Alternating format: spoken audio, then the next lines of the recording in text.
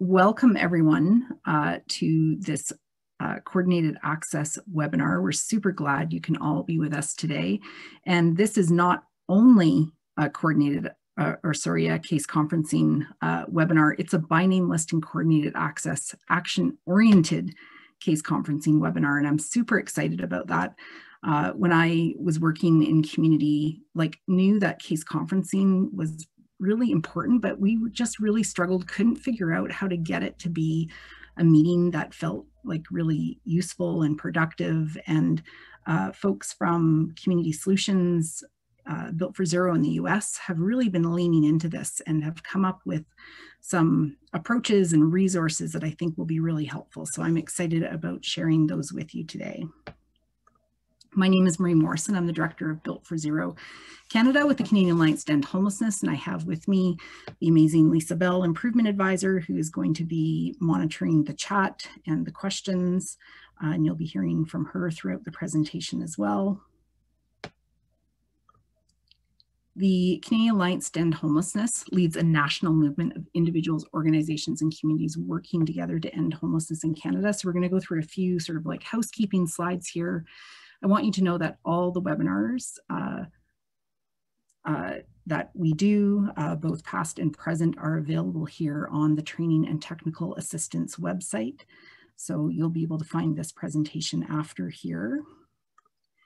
And that we are funded uh, for this work to support communities with name list and coordinated access as part of the CCI funding stream of Reaching Home.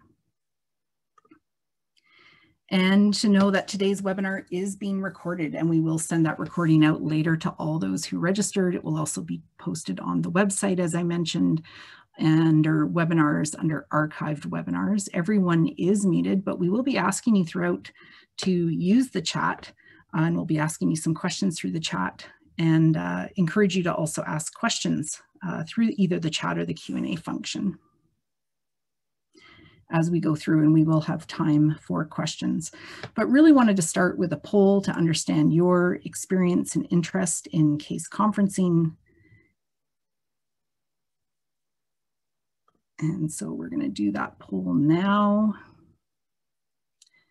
So uh, Lisa, can you tell me, is the poll showing up on the screen? It is, yep. Amazing. So are you seeing the first question? What is your interest in attending this webinar? Or are both questions showing up? Both questions are showing up. So the first about interest and the second about exposure to case conferencing to date. Oh, perfect. That's great.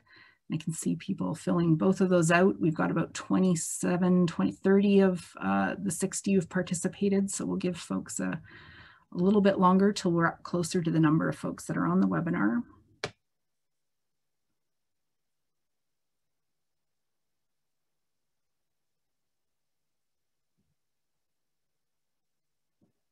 Oh, we're getting close. We're up to 50 of 62. So if you haven't had a chance yet to uh, weigh in on what is your interest in attending this webinar and what has been your exposure to case conferencing to date. All right, it looks like we are there and I'm just gonna share the results with folks. So interestingly, uh, Lisa, can you see the results now? I can. Amazing. Okay, so we've got about an equal mix of people who are joining because they're curious to learn more um, and are maybe wanting or ready to start, and those who maybe have case conferencing or looking to improve it. And then we've got, again, a bit of a mix of folks who have heard about it, uh, some who have maybe participated in some training, a very small number, We've got some people who've observed, some have participated, and that's great. We've got about 12 people on the line who've actually facilitated case conferencing. So we'll be interesting to hear from you and your questions, etc. All right.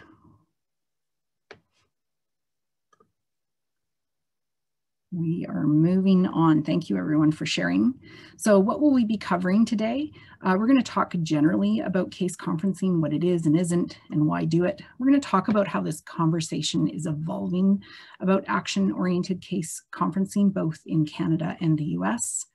And we are going to dig into some information about action-oriented case conferencing and uh, share some resources introducing you to the case conferencing tool bank. And we're going to be working through sort of these three uh, areas or uh, sort of this framework. And there's going to be sort of five action steps within this that you can take within your community what I'm hoping that you will get out of the session. I'm hoping that when you leave, you have caught the case conferencing bug, that you are leaving inspired to implement and improve case conferencing in your community, that you're leaving with some actionable ideas, and that you know where you can find more information and resources. So let's dig into what it is and isn't and some of the benefits. And I want you, as we're just looking at this slide, to put in the chat what words stand out for you when you see this. Successful coordinated access systems are supported by consistent action-oriented community case conferencing meetings.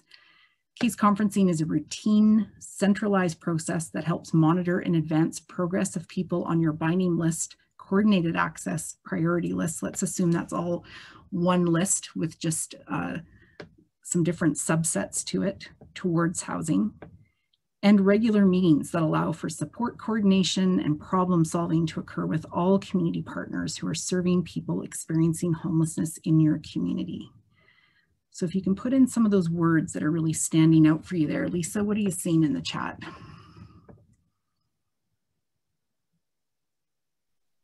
I'm seeing uh, routine as a word that sticks out. Um, also coordination and problem solving, action oriented, all awesome, juicy words that stand out for me as well. I see centralized uh, being repeated, action oriented being repeated, um, consistent or ongoing, as well as um, advanced progress um, in terms of advancing okay. towards ending chronic homelessness. Um, also, Mona has a great point. What stood Amazing. out for her was all community partners. Um, so really think she's really thinking about how the process can incorporate all of those who are involved in your coordinated access system. Perfect. Those are great words. And so some other things I would sort of lift out for people that it is interagency. So it involves more than one provider that it is client centered, that the purpose of the meeting is to discuss housing people experiencing homelessness on your list and that you're using that list to generate the agenda and that it's for frontline staff, those people who are working directly with people experiencing homelessness. They are the primary participants in your meeting. Sometimes I think it's helpful to lift out like really clearly what case conferencing is not. It is not an administrative meeting. Uh, it is not a meeting about agency and system updates it's not a meeting to simply to discuss how to improve someone's well-being while homeless so that just managing homelessness it is not clinical case conferencing. And what i mean by that is it's not people sort of brought up in the moment. It is not uh, the very hardest cases being brought forward and discussed for the majority of the meeting. It is not a matching only meeting although the matching may be a part or a sub meeting uh, that occurs within your community and it is not case conferencing, this by name list case coordinated access uh, case conferencing we're talking about is not wraparound support or service sort of coordination once someone is housed. Uh, that may be very important, but what we're talking about is moving people from homelessness to housing. So I want you now to use the chat to share what you think some of the benefits of case conferencing are or can be.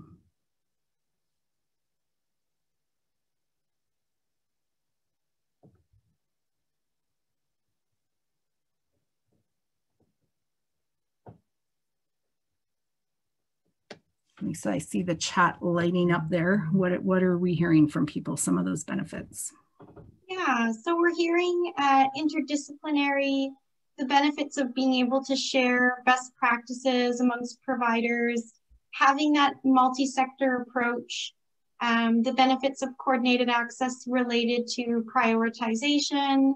Um, the lovely Michelle is saying the benefit of getting people matched with correct programs and services um, an opportunity to share knowledge, resources, manpower, share expertise, provide wraparound support, and creating a level of accountability for all agencies that are involved with a particular client. Um, and also some knowledge contributions from all team members. So an opportunity to kind of share what you know and branch that out with other folks who are joining the table. And uh, last but not least, we have the uh, avoidance of duplication of services. Mm, yeah, those are good ones. And I think people have hit on most of those ones I would have listed as well about being coordinated, um, you know, really being able to lift out from everyone around the table sort of progress and barriers. Uh, and to think about some of those systemic barriers and be able to uh, strategize solutions can help to someone mentioned duplication of service it can help to clarify roles and responsibilities and as said too to support your overall goals to reduce and end homelessness. And i think really it's about building uh, this team as people said this multidisciplinary team that can really do some problem solving so those are great things people shared.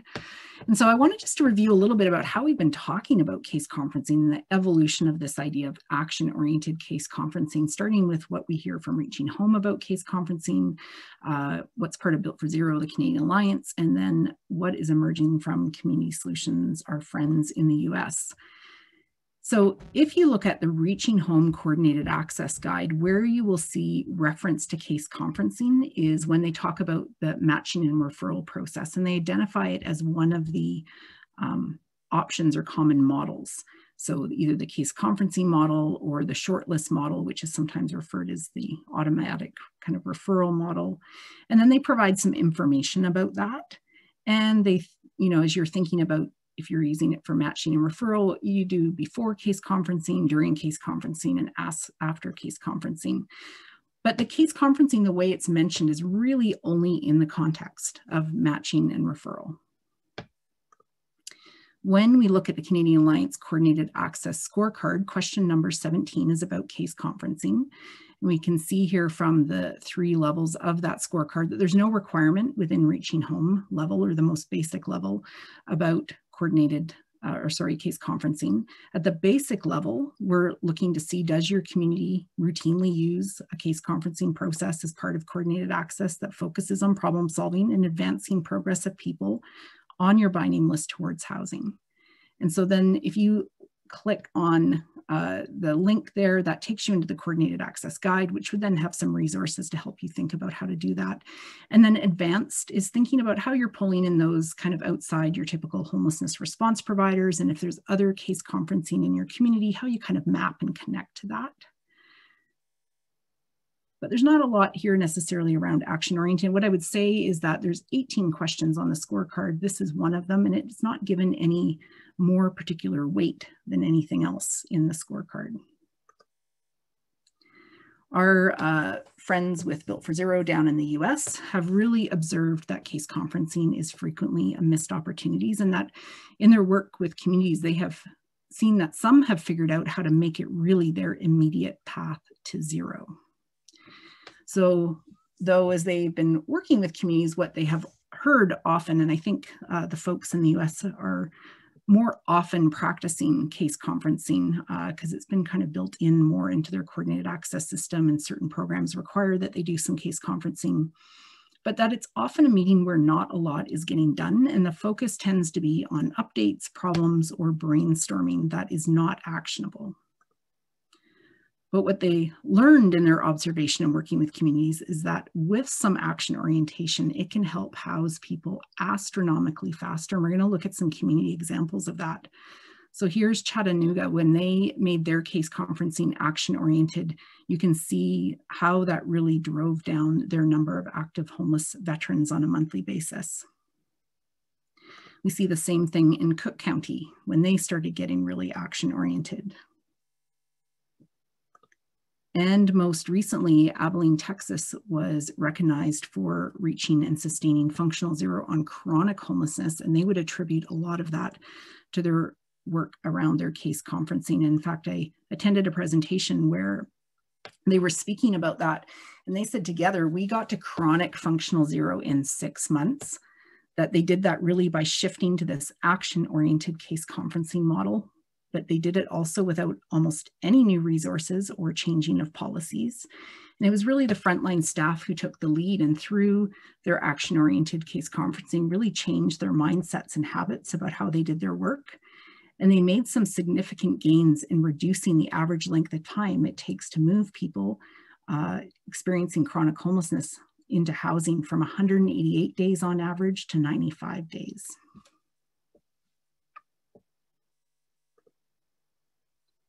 And so how has this sort of been, again, evolving over time? And it's really over the last uh, year and a half or so. I mean, before this, again, case conferencing was in scorecards.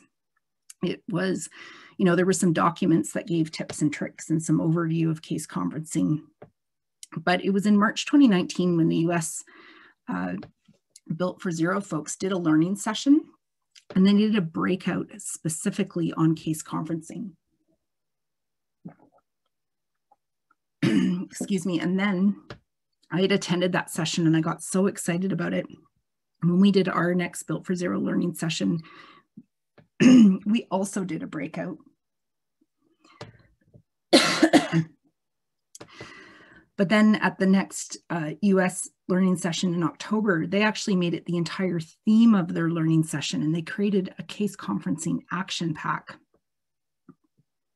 And again, we looked at those resources and we brought it to a session at the uh, Ending Homelessness Conference in 2019 in Edmonton.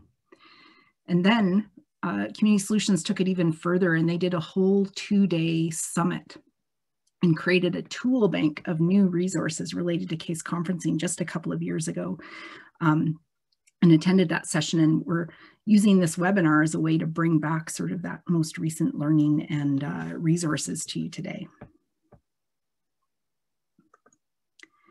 So that case conferencing tool bank you can find on their website. We've got the link there. If you go to resources and then you search case conferencing, then this case conferencing tool bank will come up.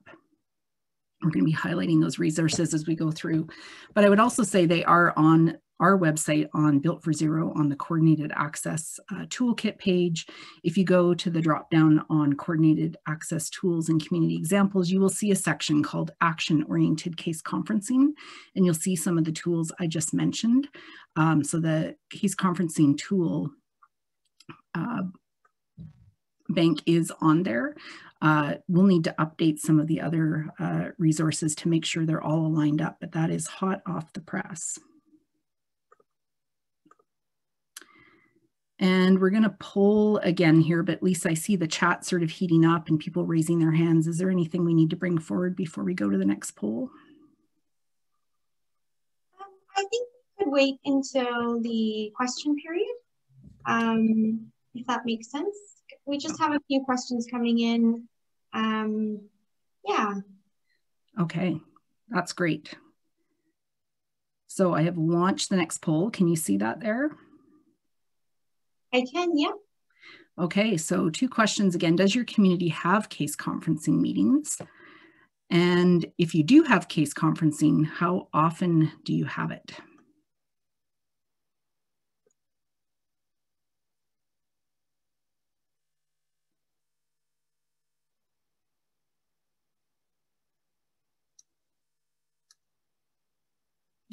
Great. We've got about a third of the people who've answered so far.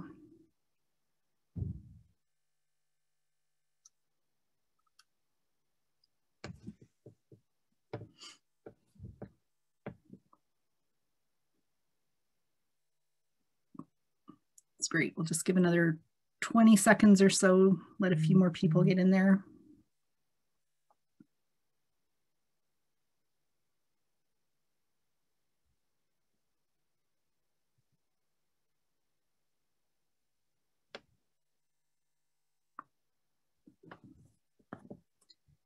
All right, I'm gonna end the poll and share the results here. Can you see the results, Lisa? I cannot see the results. Um, oh, let's share Oh, there we, there we go.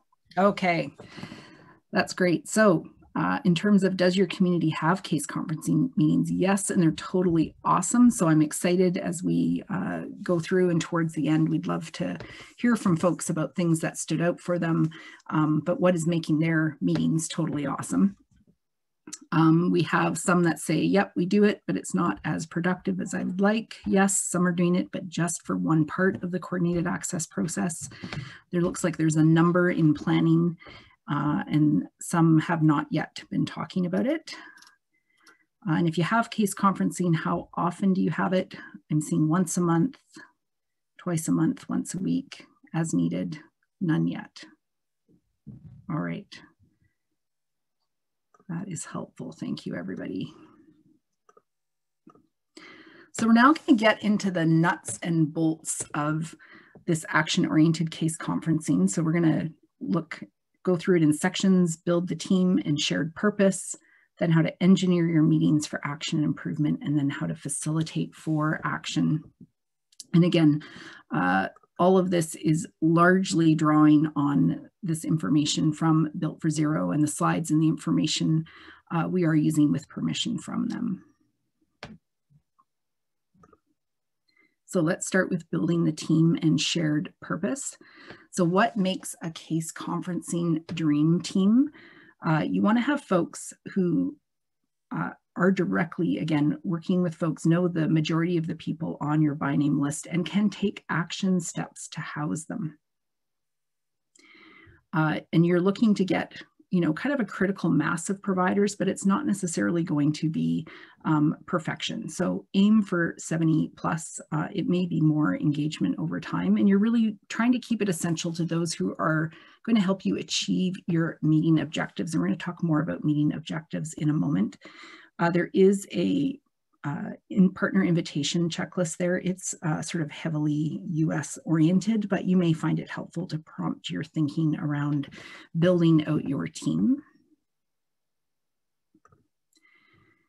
And as you think about your team, you want to align that with your by name list coordinated access priority list and ask yourself uh, these questions, whether those who are in the room are could fill each of these roles for each client. So thinking about outreach coordination and not just proper to unsheltered, but anyone or any agency that is engaging or re-engaging people experiencing homelessness in the first steps of the process. Those who might be helping with housing preparedness. Those who are helping with service coordination, uh, housing stability. So that might be income, health, mental health, addiction folks that are going to be really helping with that. Those that help secure subsidies and those that are housing help or navigators that are going to be helping people to find units and apply for housing. So, you know, just um, when you think of that, is there folks that are covering that sort of for each client and is every client covered? So if you've brought people to the table uh, and no one is really connected to the youth sector, for example, but you've got a lot of youth on your by list and you're trying to talk about them at the table, you might need to think about how are we going to make sure there's people connected for everyone that we have on our list. And when you look at each of the providers around the table, do they fulfill one or more of these roles?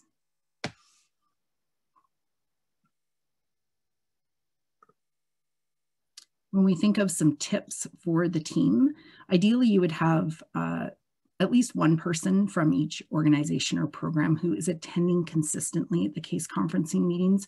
It is really hard uh, to move forward when there's a real rotating list of people that aren't as familiar with the, the process or the team uh, coming to the meetings that ideally this person can be a bridge of communication and they have some knowledge and decision making authority about the resources from their agency. You're trying to make some decisions at the table. Um, are they familiar and can they allocate resources? And if not, do they have uh, like a a line back to someone at the agency that they can give a quick call to who can help with that. You're looking for people to come prepared to the meeting um, with the most current information on the person allowable to share. This is with the assumption that the list has been updated in advance of the meeting and who you will be discussing at the meeting is known in advance. But again, it can be very frustrating at the table when you go to talk about folks and are like, oh, I don't have that information or I didn't hear about it. Um, So being able to come prepared and then to really think about how you'll orient new members. So if you have a name list, um, you should already have shared consent with that process that you can talk about people around the table. And often uh, case conferencing tables will have providers who come to the table also further sign an oath of confidentiality. And there's some examples on the name list page under the privacy consent and data sharing. But of course, it's more than that. You're also helping to orient them to the goals uh, and the purpose of being there and sort of the expectations to make sure they can fully participate.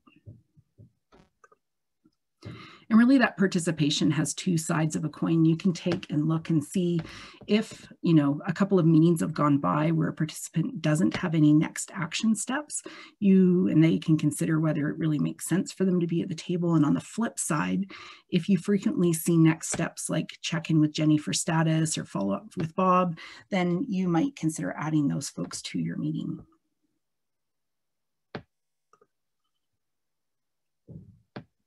So the next step, now that we've got our team in place, is to develop some shared purpose.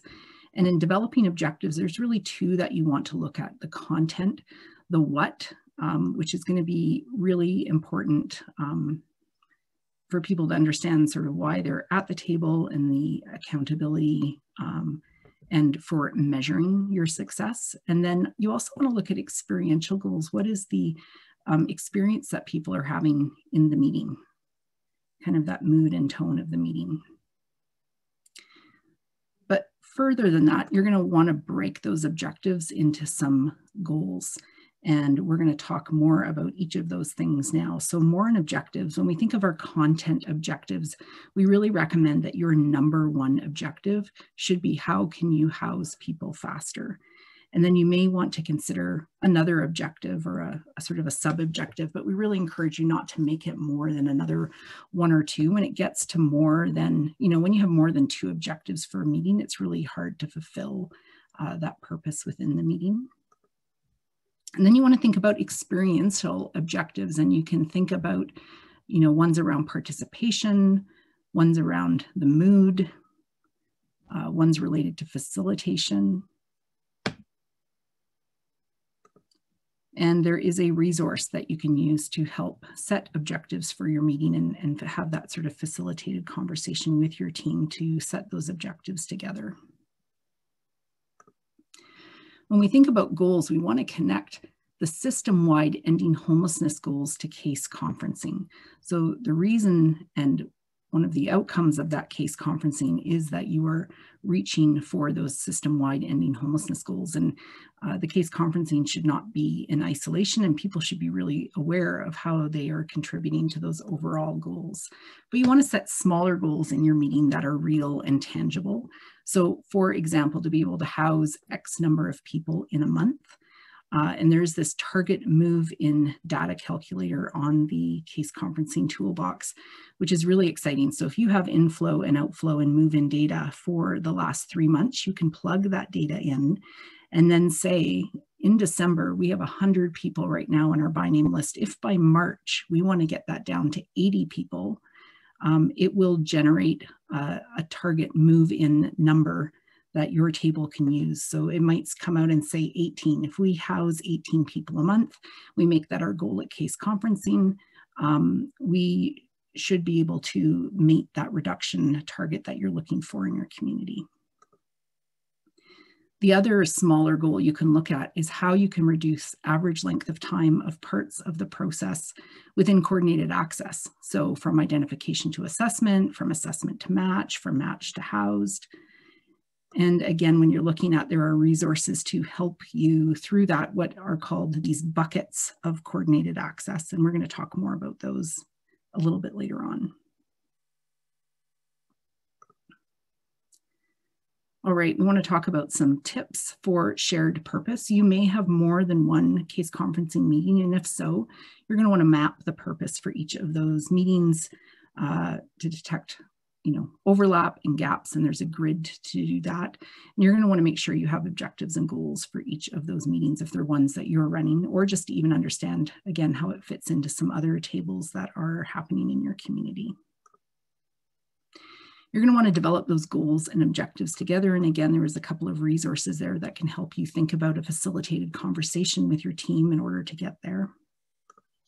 You're going to want to document them somewhere. So whether that's in a terms of reference or on a goals and objectives sheet, but somewhere you want to make sure that those are written down. And you want to keep them front and center. And uh, you can think about whether you put a sheet up on the wall, whether you put the goals and objectives right on your agenda, whether you're reporting back on data to keep them front and center. So how do you help uh, think about, you know, your reason for coming together, that that is front and center on people's minds. All right, so we have the team together. Uh, we've got some goals and objectives. Now, how do we set up the meeting so that we can sort of dig into action and improvement? So the first one is to set uh, an agenda for action. And I saw there was a variety of lengths of time that people were meeting. And we really recommend meeting frequently, once a week or at the most every two weeks. Uh, and that may not be something that your community is used to and people might not be super excited about. It seems like a lot of meetings, but I think when people find that it that it is helping them house people more quickly, they will be uh, finding this one of the most exciting uh, and important meetings of their week. You want to identify with the group who to discuss in advance with a plan to allocate two to three minutes to discuss each client. And you're like, how is that even possible? Uh, there is a, a method to use called the learning loop, and we're going to take a look at that as needed. And it can also be thinking about how many people you're discussing uh, at a meeting. Uh, and there's some different ways to break it down. Sometimes communities wonder, how do we prioritize who we talk about at the table in a, in a one hour time frame? And again, there's, there's a tool and a presentation that really talks about how you uh, can think about how to kind of break up your meeting. We're gonna look at a flow chart on that from one of those tools in a minute. And then the other thing is really setting up your name list um, for action. So adding in some action fields and discussing target move-in dates and these coordinated access buckets. We'll talk a little bit more about that. So here is a decision tree that you'll find in one of those tools that I think helps you just think about how to organize your meetings. So the first question is, do you hold population specific meetings? If the answer is no, you could consider splitting up meetings by population. That will really depend on your community and the services that exist. But you may think, you know, it would be helpful if we did a meeting that just focused on adults and one that focused on youth or families. If you've got a lot of um, population specific services, for example, maybe there is an indigenous specific table. So you can think about how you want to split up by population. And then within that, you can then ask how many people are on your name list. If it's less than 30 and you feel confident about talking about all those clients in one meeting, maybe it's just that one meeting. If you have more than 30, you might want to consider some different ways to break that down into a manageable number at your meeting. So you could consider splitting up into two or three smaller meetings. And that could occur by a meeting for each housing stage, or even within that meeting, splitting up the time between uh, assessment, matching, and navigation. Or depending on, again, how your community set up, it may make sense to split meetings up by geographic area. You could also consider prioritizing a subset of the list. And there's just some examples there that is not exhaustive. And again, whatever makes the most sense in your community. You might focus on 20 folks this week and a different 20 the next week. Again, just some ways for thinking about how to make those meetings really action oriented and manageable. And then we talk about using the learning loop to discuss each client and to spark action. And you start with identifying a system barrier.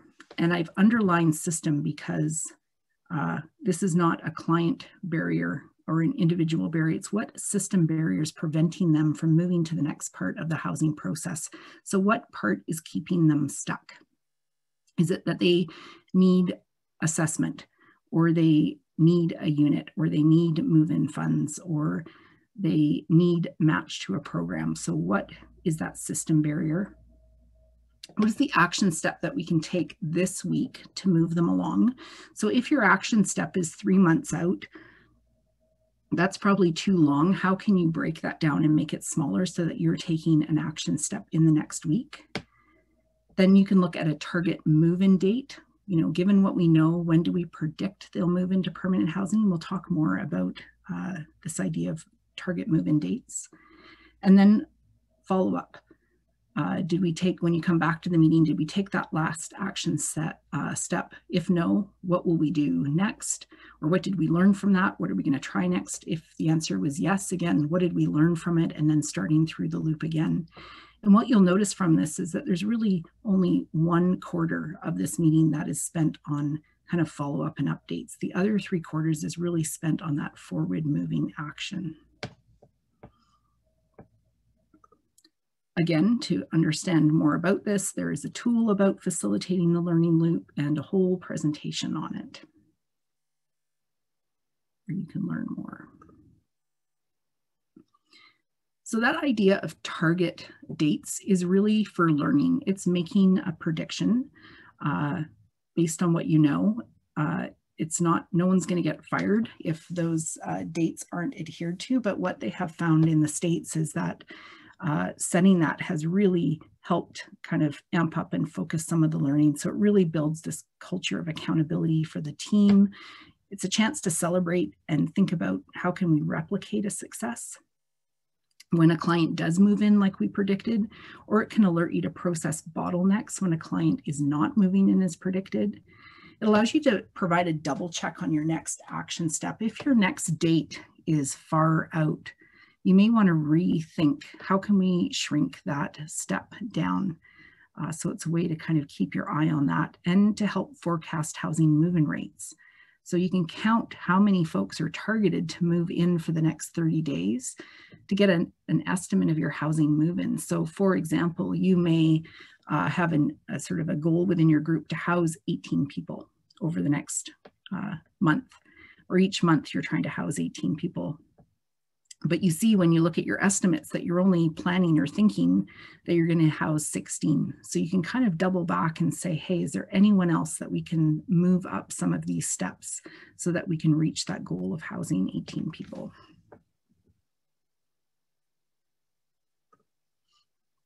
And again, there is a whole resource uh, talking about target move-in dates and a guide for, for that. So you can also think about your coordinated access progress um, by buckets. And they have found that these are sort of the most common, uh, you know, buckets that everyone would find in their community. They also have found that looking at these three um, is really helpful. You may name them differently. You may add in another one, but they really do suggest that you keep that to four or five max, because otherwise it's pretty easy for your team to lose the thread of what's going on. So they really recommend these three. And the next step would be to add in your action steps. So once you've identified someone, the bucket of assessing, which could include getting consent, completing an assessment, uh, might be collecting housing needs and preferences. The next bucket, once you've got your assessment completed, is uh, they would be in match. Uh, so, and when we think of match, not just to uh, a unit, but you can think about matching to a resource. So it could be a unit or a subsidy. It could be a program like Housing First or Rapid Rehousing that's going to help someone to find housing. Or it could be that they've been matched uh, to a housing plan uh, and they're more self-directed and they're just going to be using that housing plan. And the next one bucket is to navigate. So what are all those pieces that are going to happen to help locate, secure, and have someone moved into housing? So once you have your buckets, you can look at your list and figure out how many people are currently in each of those buckets. And then when you get really pro, you can start to calculate the average length of time it's taking for people to move between these buckets and then think about you know, what can we do or try that would reduce that length of time? So again, this whole idea of buckets, Uh, there is a tool for that. There is a presentation that will help you think about this and understand it more deeply.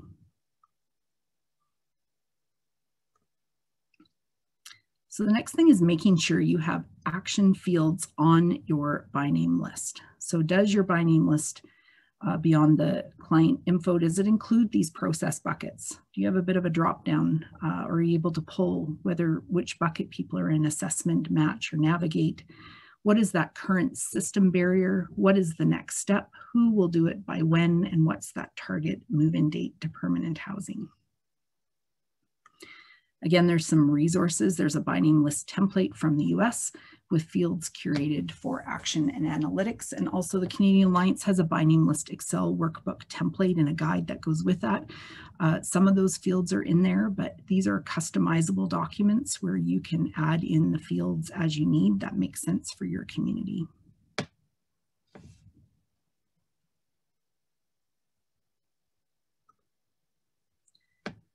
So how do you take all of those things and actually make that play out in a meeting? We're going to show you some sample agendas, but one of the things I would say about those agendas is they are not, um, they are just sort of templates.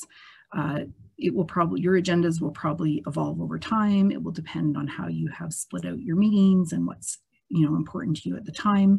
Not every meeting may look exactly the same.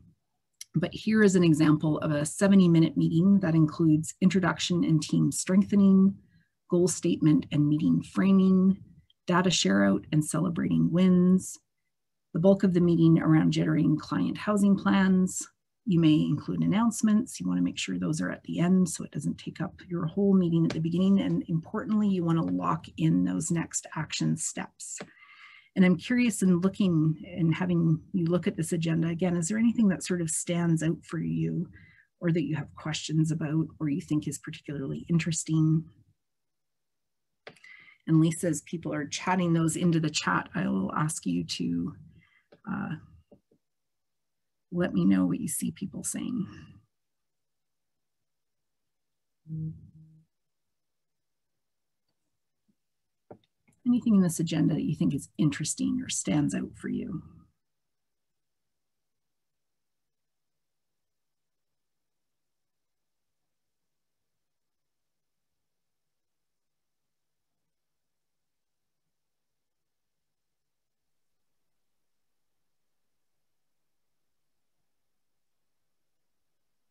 I'm not seeing anyone uh, put in the chat, but we do have quite a few uh, questions in the Q&A panel. Um, mm -hmm. So I just want to say if we don't get to your questions today, for any reason we don't uh, get to any of your questions, more than happy to follow up um, afterwards. So I do see some folks uh, writing into the chat um, about the pre-plan of who will be discussed and, and uh, Rain is saying how important that is. And I completely agree um, pre-planning before the meeting can really go a long way. Um, and same with Teresa, she's saying pre-plan around the data. That's kind of what's standing out for uh, Teresa in terms of this agenda. Mm -hmm. um, yeah, and also Denise is saying that she typically hasn't been sharing move-in and move-outs um, with their coordinated access group, but uh, she's thinking of incorporating that from now on, which is great. And uh, also 70 minutes is a good idea because 60 minutes is the most common. So, so adding a bit more time uh, to the agenda is a, is a good idea for SAGE. Um, Alex is celebrating the fact that they are celebrating wins in this agenda, which which is always great, leaning on those bright spots since this can be incredibly taxing and challenging work. Um, and then also some echoing in terms of the importance of pre-planning and planning and kind of getting your data prepared before you enter into the meeting space. Mm -hmm. Yeah, those are those are great comments. And I will let folks know we are going to be having time for sure at the end for questions and comments from people. Like I said, I'm really interested to hear from those people who feel like their meeting is awesome and they've, I'm imagining you have some things to share.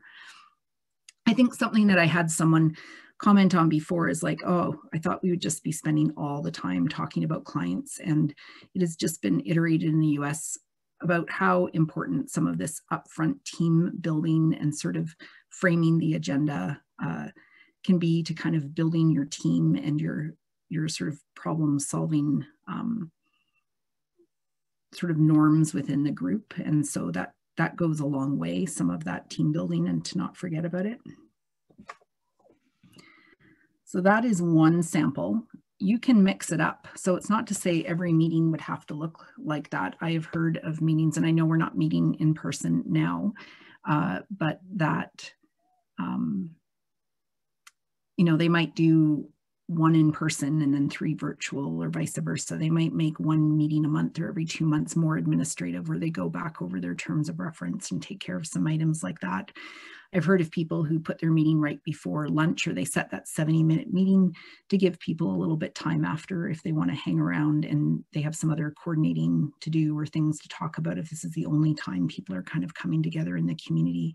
You might have a meeting where you do a real engagement and think about you know, of everyone in the table and doing some brainstorming uh, together around some specific topics. So it's not to say they're all going to look the same, but also that this is really difficult work and you're probably not going to, you know, nail your the way you're structuring your meeting right from the beginning, but to give something and give it a try, it's going to evolve, it's going to look a little bit different in your community. And all of that is great. I did want to just mention too the idea of doing service coordination with clients at the table that really that can um, have a lot of value, but that is a whole other process. This idea that you would have really typically what might be uh, a meeting with one client with really tailored attendance for that person um, as you're working to coordinate services for them. And it takes, you know, uh, some advanced preparation to make that kind of meeting happen.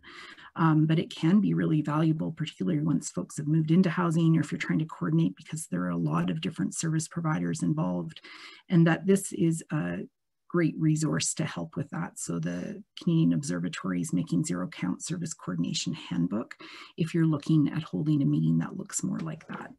Just wanted to make you aware of that resource. So once you have sort of set the meeting up like that, uh, you really want to build in improvement. And you've seen some of that as we've gone through. Um, I think that the learning loop and the target move-in dates and the buckets are really ways to kind of build in action and improvement. You can think about that model for improvement, trying some things out or some changes using a plan, do, study, act process. Uh, but I did want to introduce you to the idea of a case conferencing tally sheet and also to let you know that there was an entire presentation just about how to measure the results of your meeting.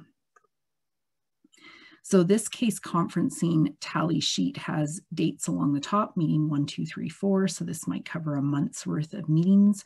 And down the left-hand side, how many clients were you able to discuss? Of those discussed, for how many were the, was there an action step with a due date, how many had target move-in dates, um, how many action steps ended up being completed after the last meeting, what changes did we try today, and next time what changes should we try to raise the above numbers. So what is a really simple way you can set up and make it easy to kind of capture some of these process measures to help improve your meeting.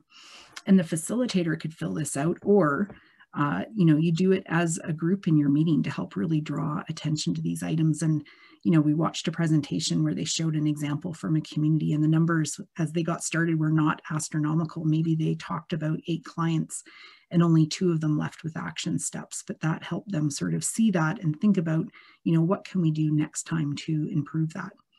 Uh, maybe you do this at every meeting or maybe you do it for a month and then take a break for a few months and then you know just check in on how you're doing again bring it back and try it out again for a month. So the case conferencing tally sheet is a resource you can also measure your experiential objectives, and that could be you could add some questions to your tally sheet, or you could create an experiential tally sheet. You know, how many times did people laugh? Did everybody talk? Did we end on time? Some of those things that you identified as your experiential objectives. But really the best way to collect that qualitative feedback is going to be to talk with people to ensure that you're really building that coalition. And the best way to do that is talk one-on-one and really ask people how both they and their clients are benefiting from participating in case conferencing. And you can get curious about those people who don't speak up or stop coming and you might want to follow up with them or people who in meetings often interrupt or take the conversation off course to kind of follow up with them and see what's going on.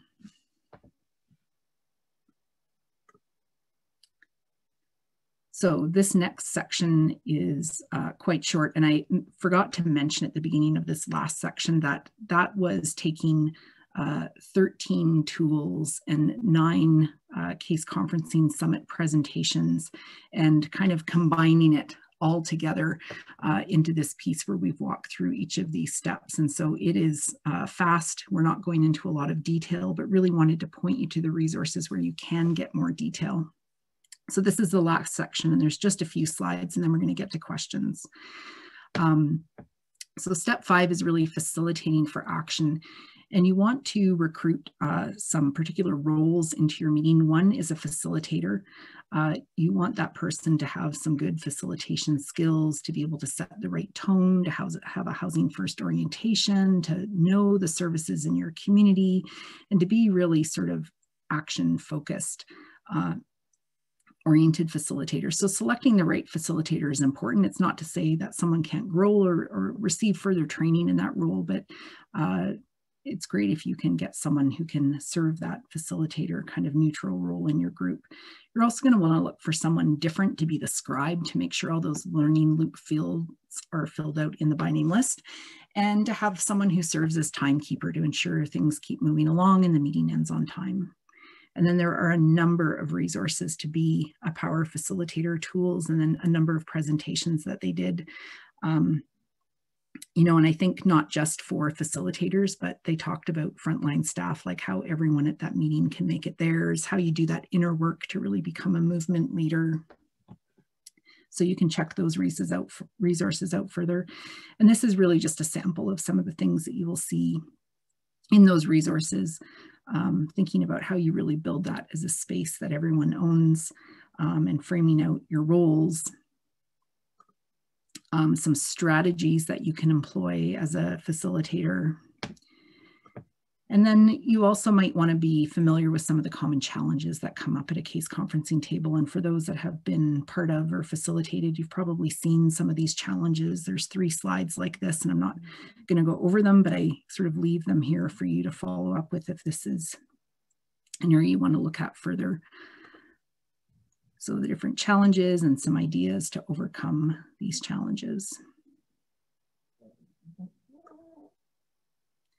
And I think just to end off by really saying don't get discouraged, that these are really kind of big changes um, that you're making to processes in your community um, and away from maybe ways things have typically happened, that you're really changing human behavior and it takes time for those new habits to form. And that I fully believe every one of you can become complete case conferencing ninjas.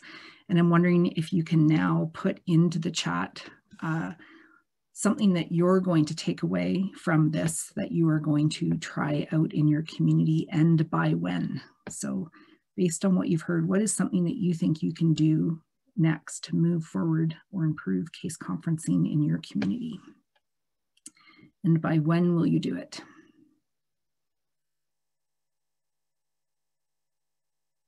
And Lisa, without necessarily sharing the names out, but just what are you seeing people put into the chat there?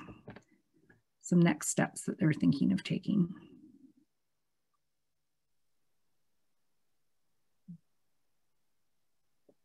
I'm not seeing anything yet. Um, perhaps uh, perhaps some other participants are like me. I'm very excited about several goodies in this in this presentation. Um, for, me, I really like the addition of putting experiential objectives and also sharing different measures or improvement efforts that you're doing with the entirety of your case conferencing group, because that can really involve and engage others into the improvement mindset and into a mindset of continually trying to improve your um, case conferencing table. So I do see some folks uh, writing into the chat. Um, folks are excited to access the resources that we've posted and, and that will be available through the presentation. Um, also the emphasis on action rather than talk. Um, how can we kind of get unstuck from just continually talking about clients and really making it action focused. Um, also, um, the heaps of tools that will be good to prep for case conferencing or give some ideas around improvement efforts.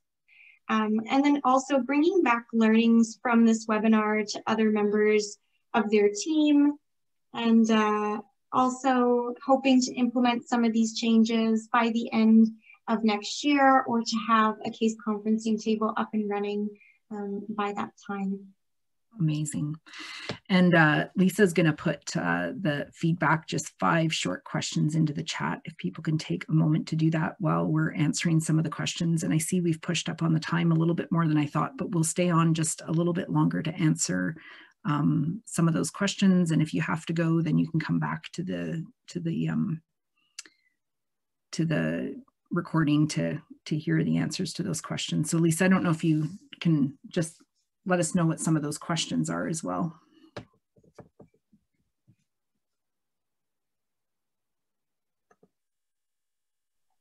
I was just talking for a good 30 seconds and I was muted. Sorry about that. Um, so we did have some questions come through the chat as well as the Q&A panel. So I'll start with some uh, that came through the chat. And one was um, specifically speaking to some of the successes that US communities have, how were the frontline staff able to change their mindset or what was the key in having those staff really shift their mindset in terms of the US experience and case conferencing. Mm-hmm. Yeah, and Lisa, you attended all of that. And uh, so, you know, I would encourage you to jump in to answer that as well. You know, I think just, you know, what I heard from folks was the idea of you know, having some goals and shifting that to be a real learning meeting rather than an update meeting. Again, I think that was a lot of what people were coming. It was updating. It didn't feel necessarily uh, super collaborative or productive. Uh, and so thinking, moving from that shift of kind of client uh, barriers to system barriers, keeping it more action oriented uh, was where some of those mindsets really shifted. Yeah, absolutely. And I just add to that answer, um, I think just slowly over time becoming more and more committed to shifting um, because in order to make this a meeting that the folks were really, really excited about and really wanted to attend each week, they continually checked in, the facilitators continually checked in with participants to see um, what would make this, you know, a better meeting, how can we continually shift and improve, how are we doing in terms of our experiential and meeting objectives, um, so just being able to uh, shift that through um, listening to what is needed in terms of your case conferencing table and the participants, and then really leaning into that um, because what you put in is what you're going to get out as well. Um, I do have another question here uh, that came through the chat. Um, wondering about how the case conferencing team lines up with the lead agency assignment on the by name list.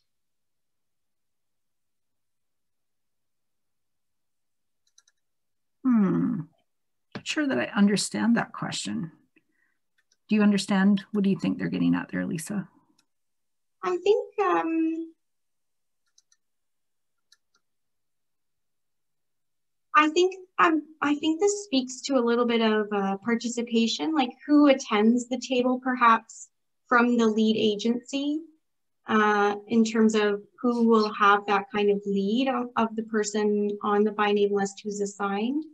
Um, so maybe I would just suggest leaning into the resources uh, that were in the middle of the presentation around like uh, participation from providers, and uh, sample agendas because that might help you identify how the team, uh, the case conferencing team lines up with who's the lead agency or the person um, that's assigned to be the lead agency on the by name list.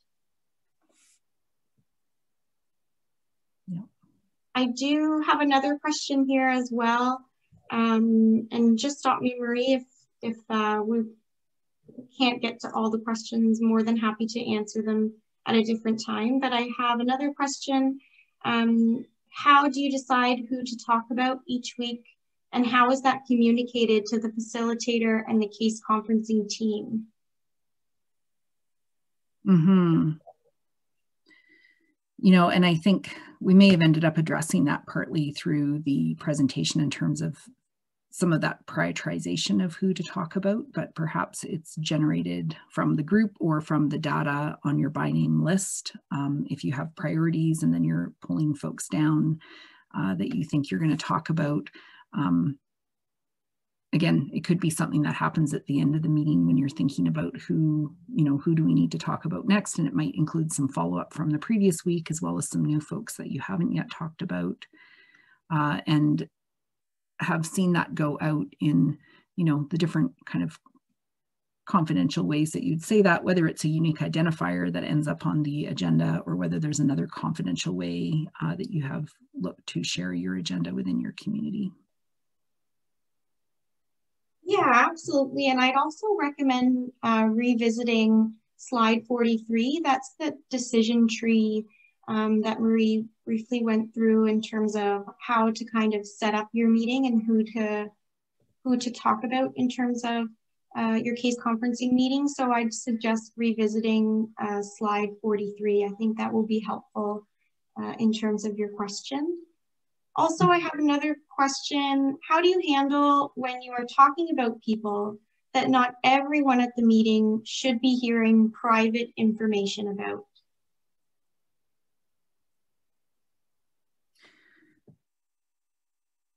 Yeah, and I think it goes a little bit to how you've set that consent up at the beginning and, and who you have around the table, you know, having a role with those folks. But again, you could separate it out. Um, you know, if you have, you know, you're talking about youth, but there's some people who don't need to be at the table because they're not serving youth, then maybe they come a little bit later in the meeting or that's a separate meeting, you know, or they step out. But again, we're not looking at sharing a, a, lot of client details. We're really focused on some of those system next steps that need to be taken is sort of the idea in the meeting, but there are a number of different ways to kind of think about how you might organize your meeting in order to minimize, you know, unnecessary information being shared. Absolutely. Um, so I do have another question here about, um, is it okay to talk about someone who is already housed if they are at risk of losing their housing without wraparound supports. Yeah, and I'm curious from the people that say we have awesome case conferencing, like we'd love for you to like chat in or weigh in on those conversations as well. Um, you know, I think that does happen for some people. You may on your by name list have a you know, kind of a precarious housed column that you're keeping your eye on. And perhaps that is one of the things that you brought forward to the meeting. Again, I think you need to make this meeting yours. And if there isn't another table where you're talking about prevention kind of efforts, and this is the place to have that, that you might look at that as well.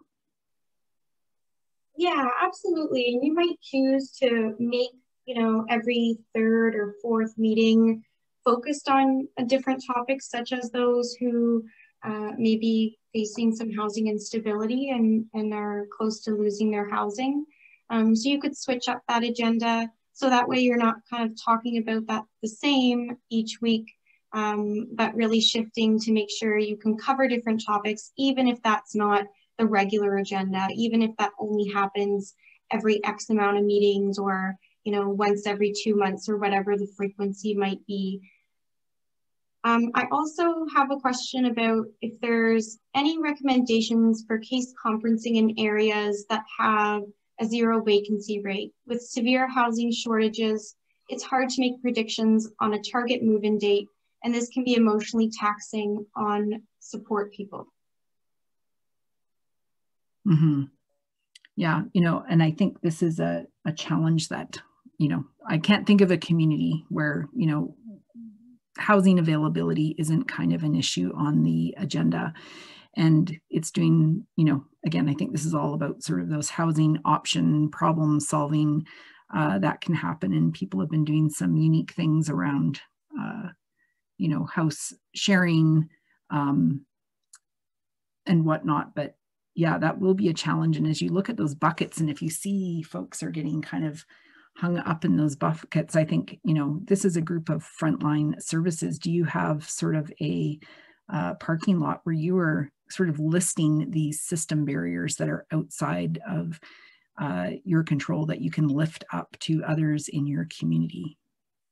So, I mean, I think that's another opportunity of this table is to be able to share that data and specifically where some of those barriers are happening. But, um, you know, all of those communities where they've driven down those numbers, they also had challenging vacancy rates. That is just, I think, the norm pretty much in every community.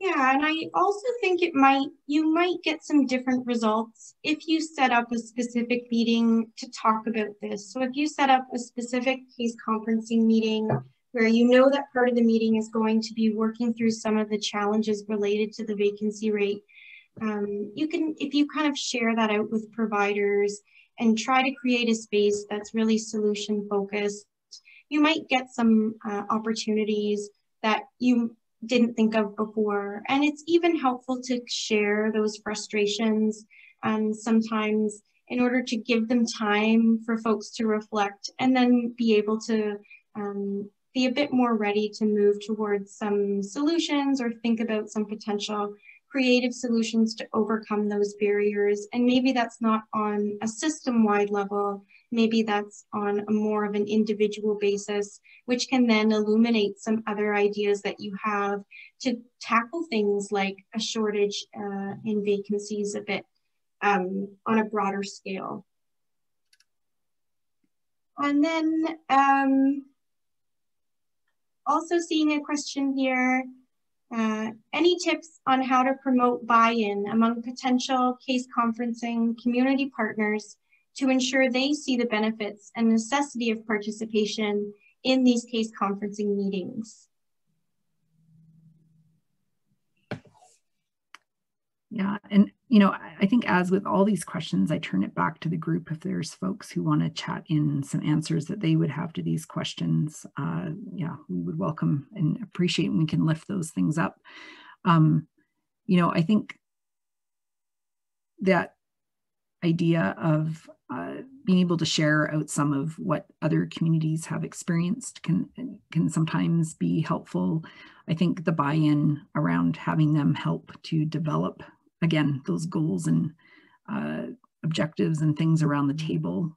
Um, and I think also sometimes people might not immediately see the benefit until they start participating and then maybe a provider that has not yet engaged you know there might be someone from another agency uh, people who become kind of champions at the table who can share that out with others the benefit that they're getting from it. But i think again i just i get so excited when i hear about like people have transformed you know this work in their community such that it is like the best and most important meeting that people feel they can go to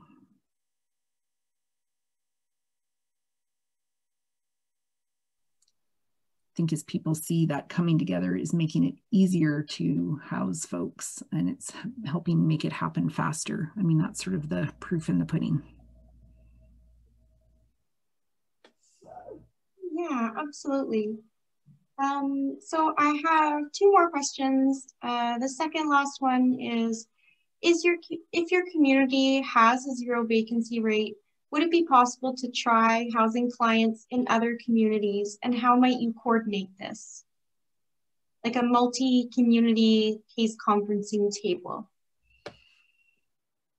That's super interesting, hey?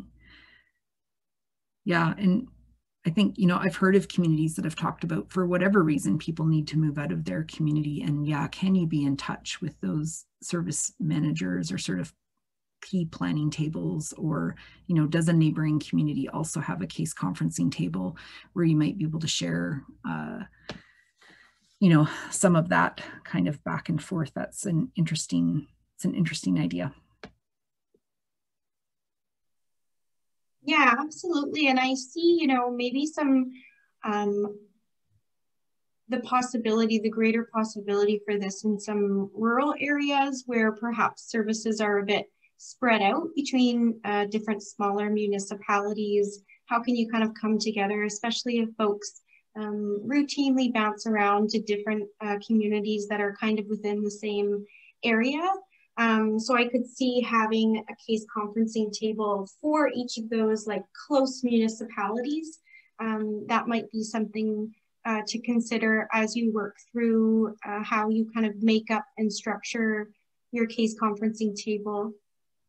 Uh, mm-hmm. And the last question that I have is, can you describe uh, when it would be helpful to connect with other case conferencing tables that are not coordinated access focused? And so I think this comes from the coordinated access scorecard under the advanced section we do hmm. ask communities to connect with other case conferencing tables um, throughout the community. So maybe you could describe a bit when this would be helpful to kind of link into those other tables. Mm-hmm. Like what I've heard from some communities, and again, it depends on the size of your community and how things are set up, but sometimes there are multiple tables that are all discussing the same people. Um, and sometimes the same people might be going to multiple meetings. And so how can you kind of map that out to reduce duplication and figure out, you know, what table is discussing what, you know, uh, part of an issue or, you know, if at one particular table, what they're really, you know, challenged with is a housing issue, how does that come to the case conferencing table for problem solving. And if there's other issues, you need to hook back to the other table on that you can do that. But again, it's to kind of streamline and reduce duplication uh, in the meeting or not having people having a bunch of housing conversations outside the coordinated access table where perhaps uh, you can streamline that conversation.